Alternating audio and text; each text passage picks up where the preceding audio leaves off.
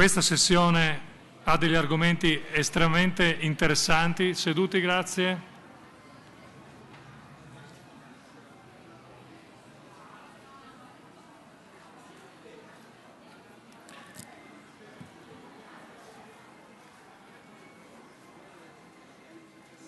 Non scordo di essere stato perito da un giudice in un'altra regione d'Italia su uno degli aspetti, diciamo, il decesso di un vigile urbano di 40 anni per un problema di un ascesso, eh, in questo caso non profondo, ma comunque latero cervicale. Quindi so che i punti che vengono affrontati all'inizio di questa sessione e nell'intera sessione sono estremamente interessanti. Il primo di questi riguarda gli ascessi e i flemmoni cervicali, quali sono le considerazioni cliniche, quali sono i problemi della clinica, quali sono le informazioni necessarie al chirurgo è il professor Marco Piemonte, che è ordinario di chirurgia RL all'Università di Udine, che ha anche una doppia capacità espositiva e di sintesi per poter darci delle informazioni molto chiare su quello che dobbiamo cercare dove, come e quando. Marco? Grazie, buonasera a tutti. Due doverose anticipazioni, sono eh, direttore ospedaliero della SOCO RL dell'azienda ospedaliera universitaria di Udine perché c'è un clinico universitario. La seconda, dopo la, presentazione, la pre-presentazione dell'amico Maroldi, che ringrazio per avermi dato la voce, sul famoso vigile dell'ascesso cervicale, terco e quaterco e testicoli stactis ci sta sempre bene perché nel nostro ambito siamo sempre molto favorevoli a gesti apotropaici su queste affermazioni.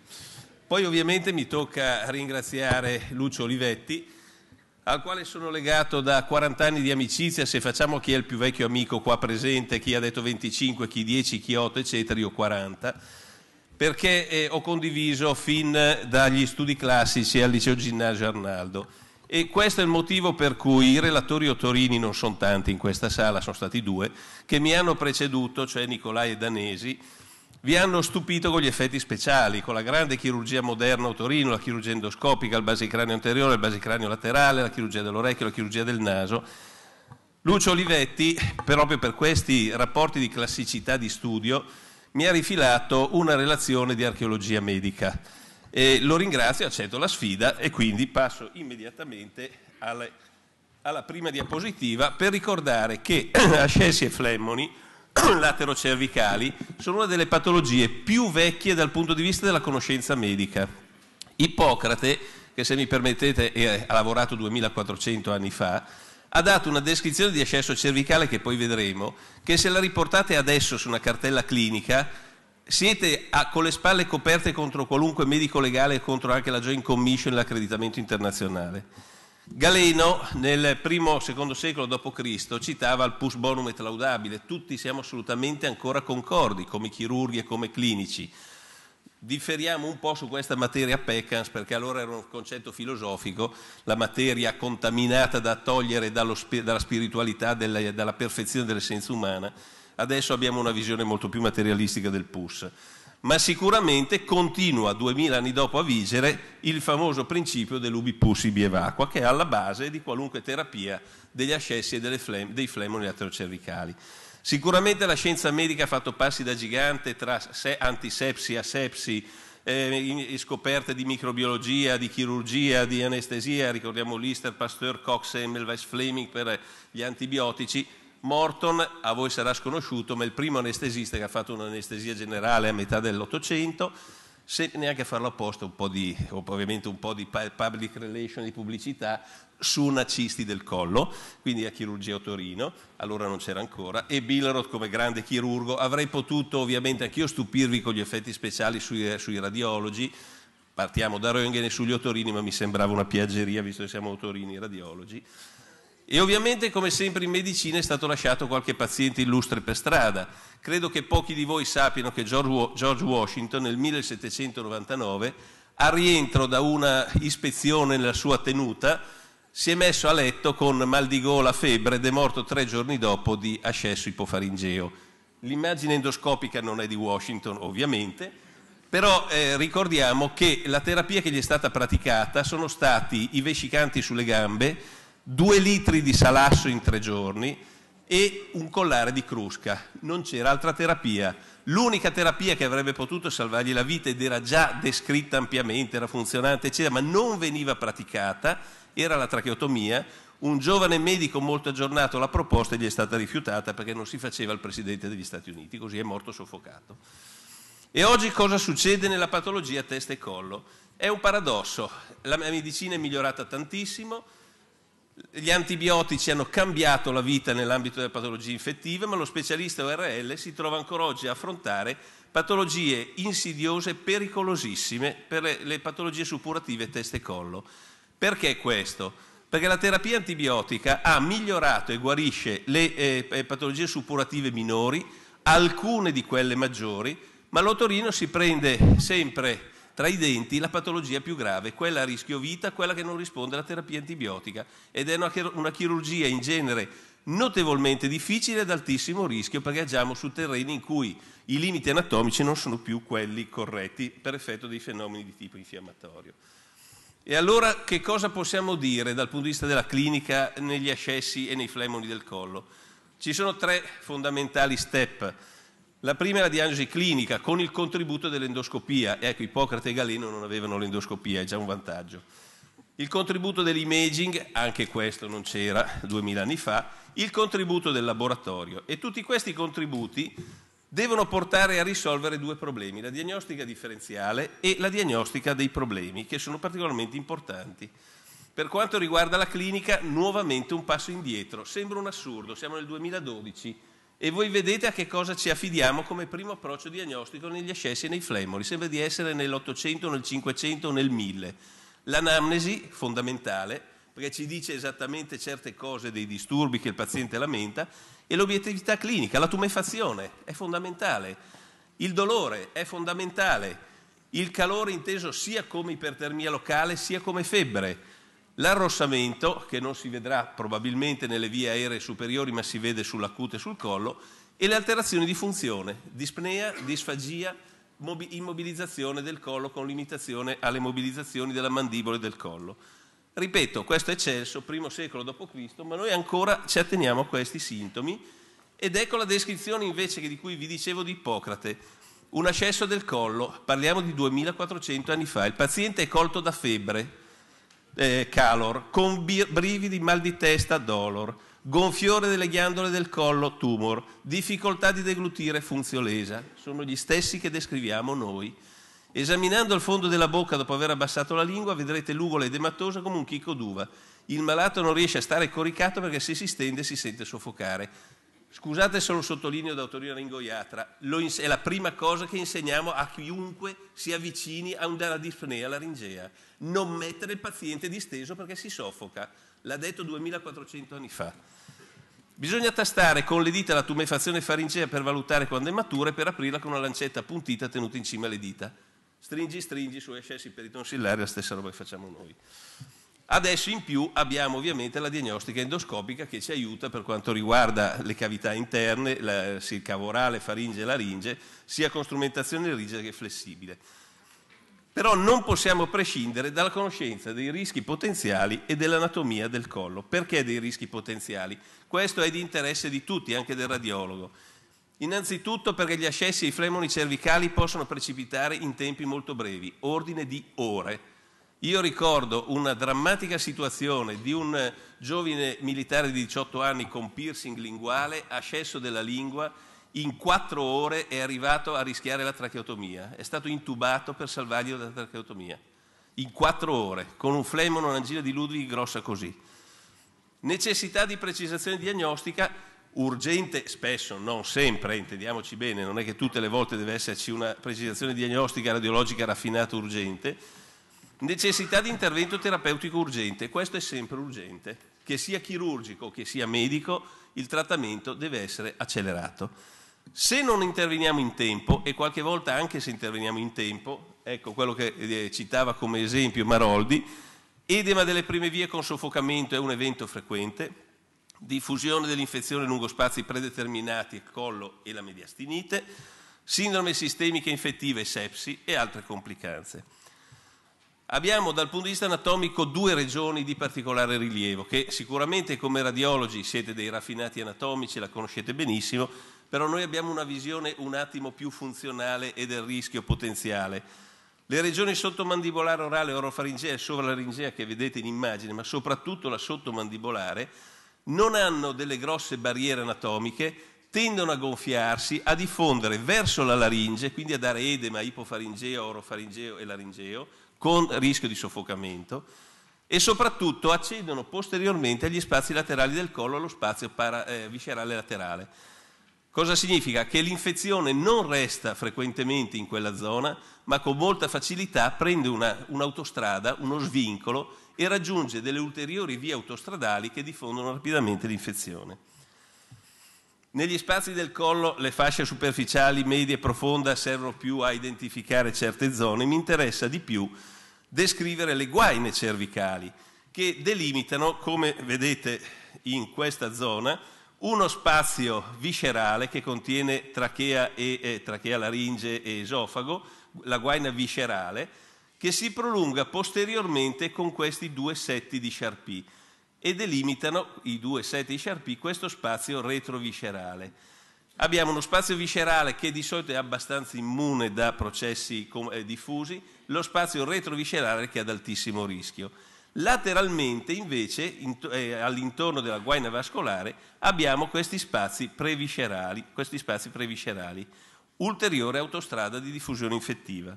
E allora qual è la conseguenza? Che se un processo infettivo suppura e tende a diffondere, se prende lo spazio faringeo laterale, lo spazio eh, viscerale laterale, parte alla grande verso il mediastino anteriore, non trova più barriere, ovviamente per gravità il push scende, scolla e va in profondità, certe volte in tempi brevissimi. Se prende lo spazio retroviscerale, stessa via nel mediastino posteriore, non ci sono barriere, è una via che si scolla facilissimamente. La, eh, lo spazio sottomandibolare, come vedete, diffonde allo spazio eh, eh, periviscerale. Questo è indispensabile, questa è un'immagine ovviamente sovrapposta a una vostra competenza, solo per dimostrare i procedimenti dal punto di vista dell'infezione verso il mediastino. Tutti voi sapete senz'altro che un ascesso diffuso del collo è molto grave, una mediastinite è un rischio vita immediato. Dobbiamo evitarla a tutti i costi. Ed ecco allora che appena abbiamo dei rischi particolari o dei quadri particolari che non sono focalmente e localmente identificati, perché se abbiamo un accesso peritossilare semplice, nessuno vi dovrebbe chiedere, e nessuno vi chiederà mai, un attacco o una risonanza magnetica. Se c'è un accesso retrofaringeo saccato, piccolo, che lo vedete in fondo alla bocca, nessuno dovrebbe chiedervi un, un attacco o una risonanza magnetica. Ma se la diffusione infettiva è ampia, se la tumefazione è grossa, se ci sono dei dubbi, soprattutto a livello retrofaringeo, vi vedete un salsicciotto che scende, un attack diventa indispensabile, ma diventa indispensabile di corsa. Ho messo anche la scintigrafia più per la patologia ossea, chiaramente, non per altri motivi.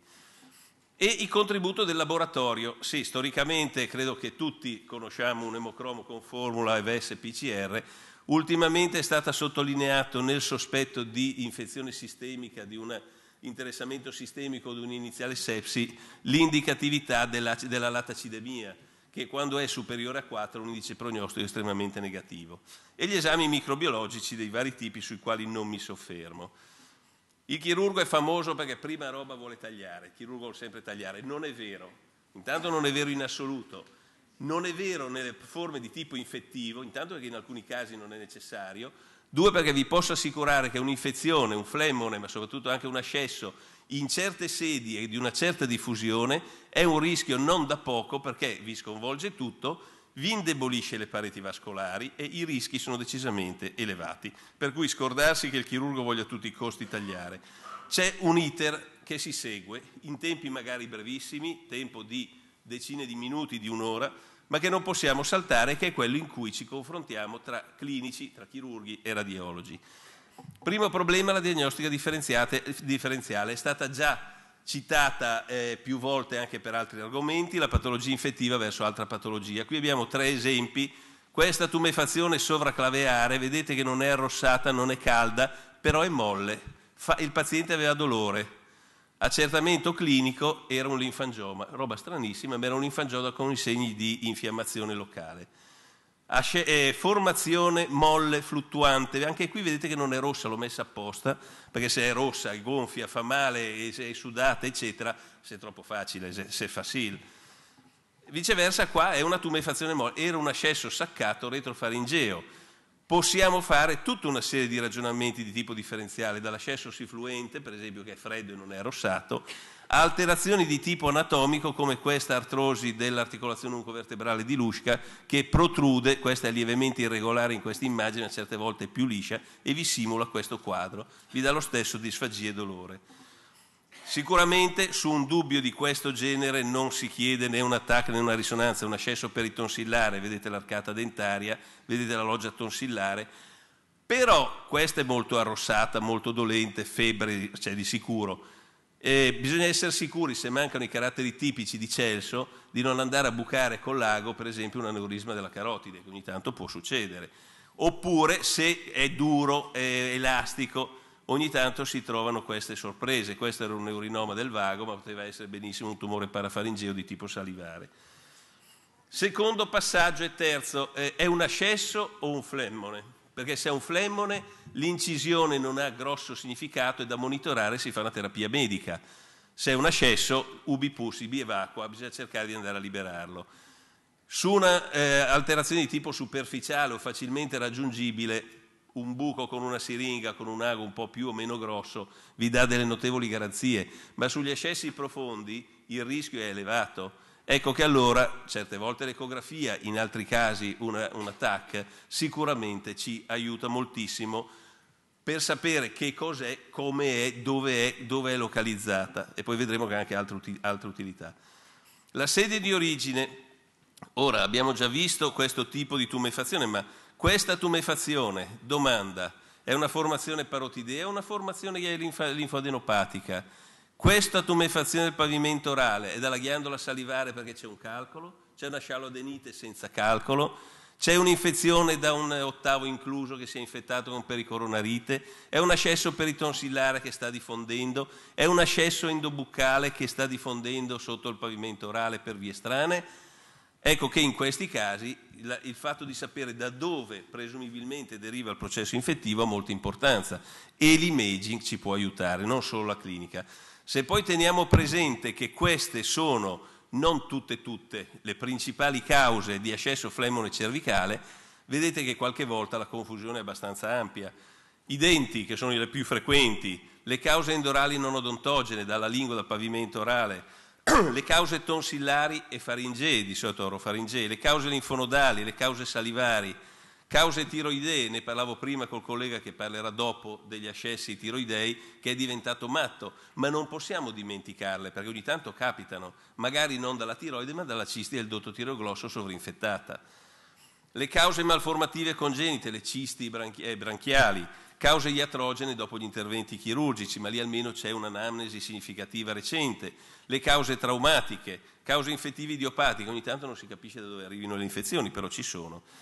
Ho messo tra parentesi le cause otologiche perché ormai sono veramente eccezionali, l'ascesso di Bezold, di pseudo-Bezold, le sterilizzazioni mastoidee per fortuna ormai non dovrebbero essere quasi più viste, poi non esiste niente in medicina di assoluto, e lo stesso le cause rinosinusitiche che di solito non, eh, si estendono ai lati del collo.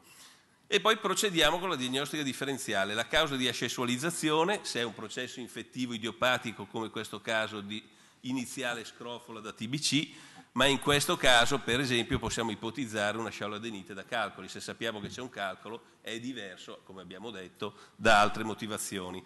E vi ricordo solo a titolo esemplificativo che da un ottavo incluso con ascesso dentario, l'infezione può andare indietro sotto la tonsille, da un ascesso peritonsillare, medialmente sopra e sotto il miloioideo, ascesso del pavimento orale ben visibile e drenabile, ascesso sotto il miloideo, angina di Ludwig con tumefazione della regione sottomandibolare, rischio di diffusione alla laringe con soffocamento, o può andare verso l'esterno con un ascesso sotto massetterino o perimassetterino. Quindi sono delle situazioni che devono essere calcolate. E alla fine il programma terapeutico, in cui il radiologo e le sue tecniche di imaging spesso diventano dirimenti perché si può scegliere una terapia medica, per esempio se c'è un flemmone non c'è niente da drenare, si può scegliere una terapia chirurgica minore, incisione e drenaggio, secondo le tecniche che sono, erano già state descritte, molto banali, con una lancetta, con un bisturi, con quello che volete. Ci può essere un trattamento anestesiologico medico, questo è un'epiglottide con un'epiglottite in un bambino, qua sicuramente si farà una terapia antibiotica pesante, ma per evitare il rischio di soffocamento invece di fare una tracheotomia nel 2012 e già da un po' di anni si intuba il bambino, con qualche rischio ma si intuba, di fronte a una ipotesi di questo genere, a una mediastinite, a un accesso che scende rapidamente, la terapia chirurgica impone un accesso chirurgico maggiore.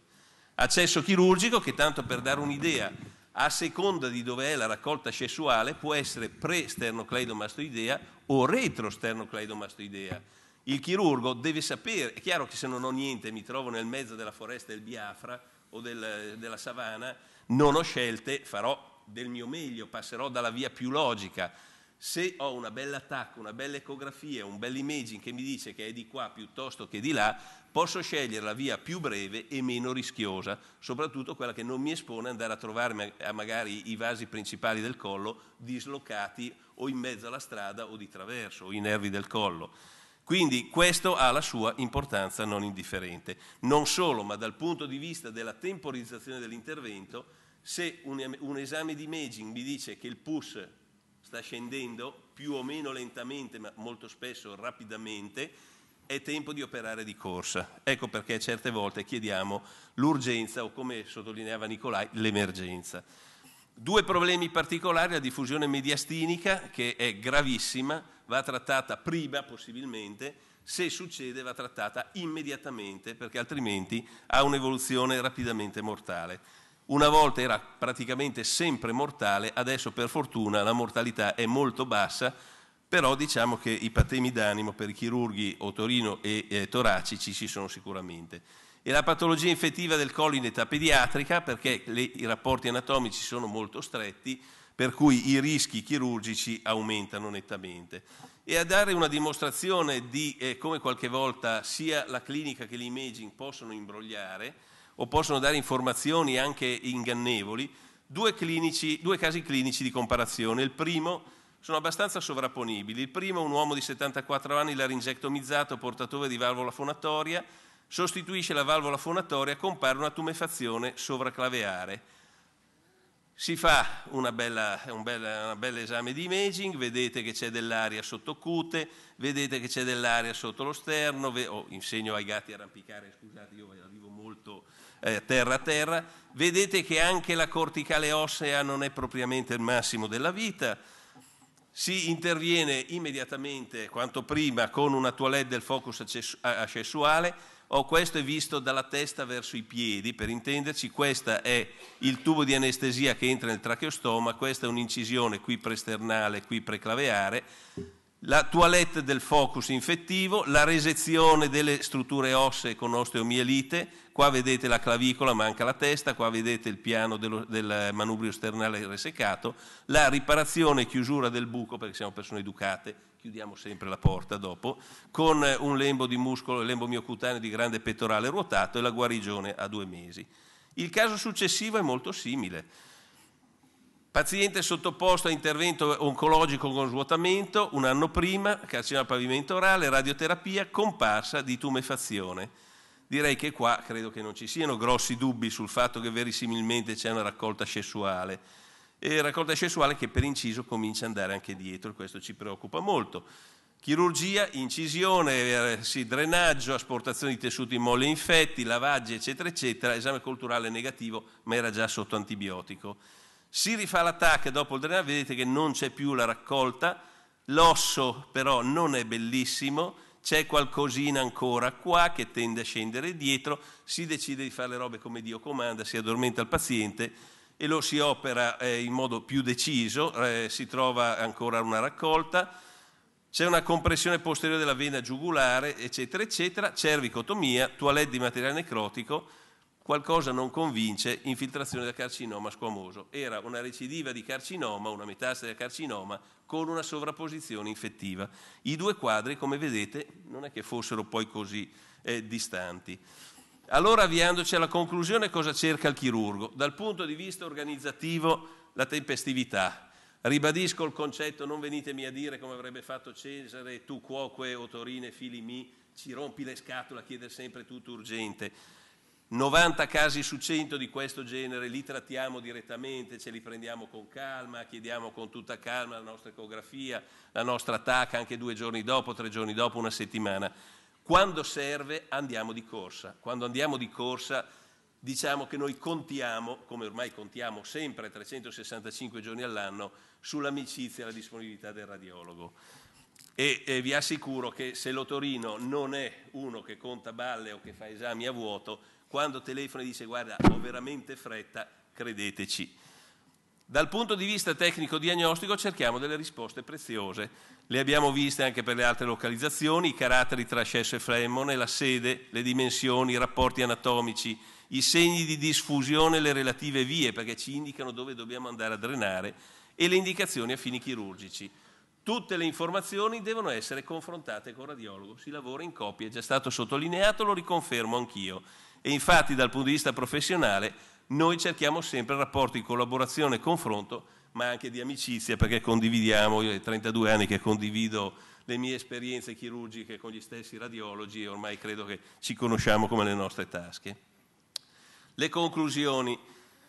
La patologia sessuale flemmonosa del collo è ancora del tutto attuale, nonostante gli antibiotici, nonostante le tecniche, nonostante tutto quello che volete, si vedono ancora i casi di ascessi e flemmoni del collo.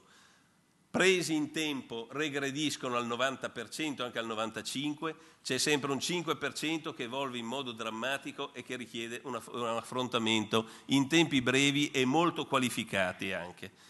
È una patologia potenzialmente a rischio vita, non è né la prima né l'ultima volta, anche in mani esperte questa patologia presenta rischi superiori alla norma con possibilità di estensione dell'intervento, non è mai prevedibile dove si va a finire e spesso in emergenza campi non tradizionali. L'approccio clinico iniziale corretto è fondamentale, mai sottovalutare un paziente con ascesso. Non può prescindere da un rapporto di interrelazione con gli specialisti di imaging, non solo a fini diagnostici, ma anche di pianificazione terapeutica.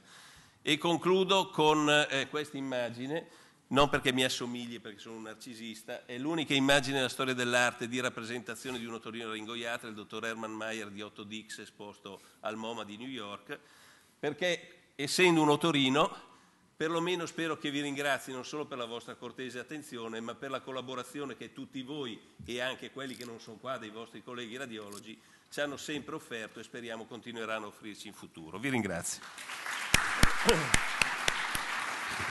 Grazie a Marco Piemonte per eh, questa esauriente, in tempo corretto, eh, informazione riguardante